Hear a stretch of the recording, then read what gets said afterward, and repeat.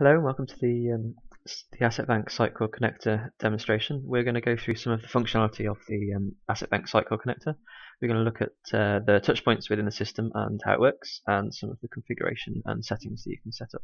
Uh, so here we are in Sitecore in a, um, a standard Sitecore 8.11 system. Um, and we're going to uh, have a little look in the media library. We've got uh, an Asset Bank media folder within here and within that folder we can see a live kind of view into our asset bank system. So this is a breakdown of our categories that we've got in asset bank. You can see those in our asset bank system here.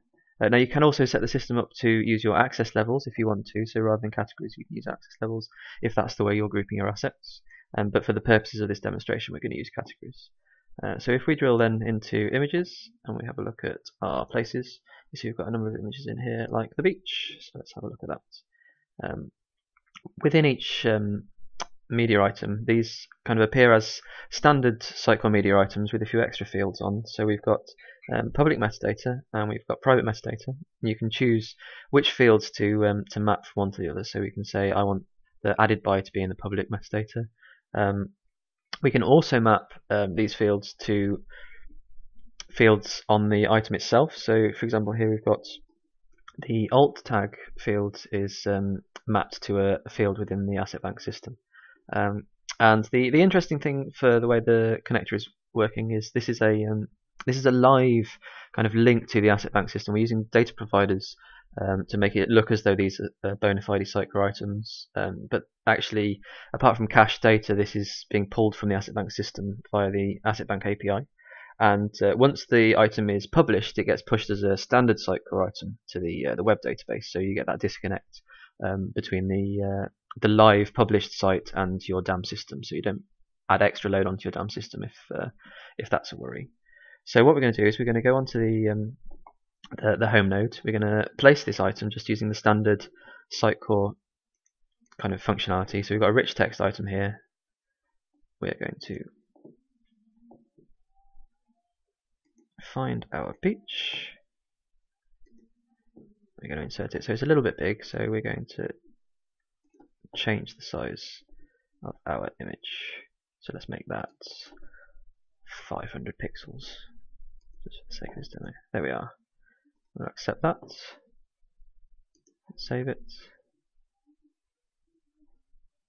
Lovely stuff. So, then we are going to have a little look at the settings so you can see how things are built up. So if we go into System and Modules, Asset Bank and Connector Settings, uh, we have a number of settings in here. We have the uh, the list of public fields, um, so that determines which on, which fields on the asset go into your public mapped metadata and which ones go into your private. And then we have a list of mapped fields. So you see some of these are already filled out. So um, by default we have um, these first five, um, and then title and display name is one I've added. Um, for the sake of this demo, we've got some um, some images with uh, kind of hash names which don't make much sense. So we're letting the user see that the uh, the display name is equal to the title to make it a little bit easier to look at. Um, we've also got a concept called field converters, and that's so that we can say when I map um, a, a, date field to this item field, then I want to use the date converter to, to do that mapping. Um, okay. Uh, so what we're going to do now is um, we are going to delete an item um, from Asset Bank. We're going to clear the cache and then we're going to see how the system behaves. So uh, we'll, we'll use that beach. We'll go into our images and our places. Let's delete that asset.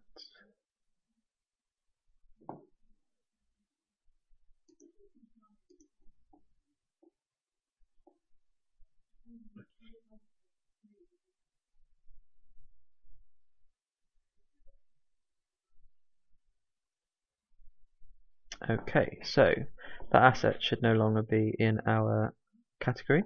There you go, see it's gone.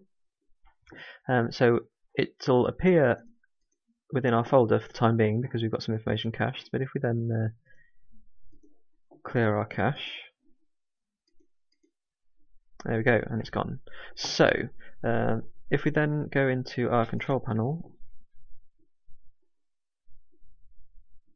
may take a little while to load because I've not uh, pre-cached it. And we run the uh, broken links report.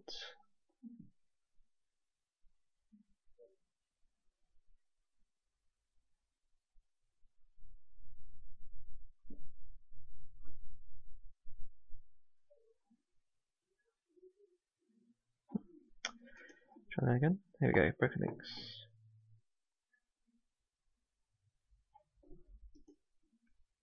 There we go. So if we run the report and scan the um, items, we find we've got on our home node um, in the rich text field, we've got a uh, an item that's missing, um, and that is useful for content editors to work out where um, assets may have been deleted or um, been moved from categories. And then if we then go back to our home nodes, we should see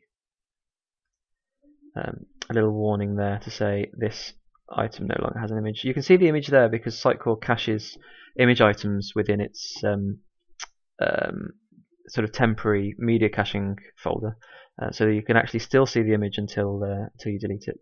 But um, if you were to publish this completely into the uh, the web system, it would clear that cache, and then um, that item would no longer exist. So um, that is a good place to uh, to put your workflow um, rules to make sure that a user couldn't publish an item where the uh, the image is not appearing. And and that's it. It's uh, it's a nice, simple, easy to use system, and uh, it really simply puts the uh, the assets from Asset Bank within the Sitecore system. Thanks.